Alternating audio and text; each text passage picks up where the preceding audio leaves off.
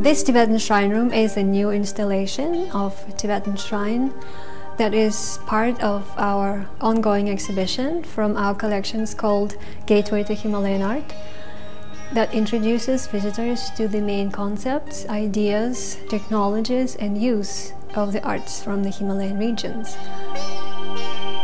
This shrine room is conceived as representative of a specific Tibetan Buddhist tradition and it's called um, Nyingma or the ancient tradition. Among these 146 objects, all the elements of Tibetan shrine space are represented.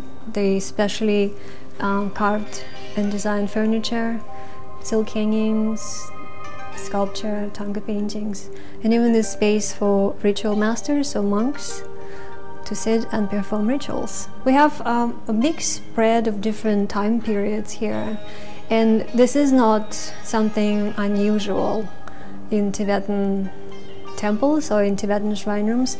Very often people would treasure older images, not because for their market value or anything like that, but because they had more devotional history and that therefore more, I guess, spiritual power.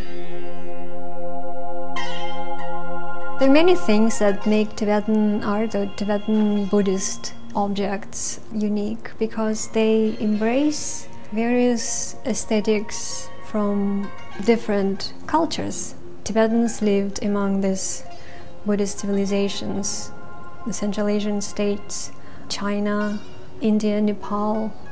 It's a, it's a very interrelated process between the spiritual and aesthetic that goes on for many centuries and still goes on.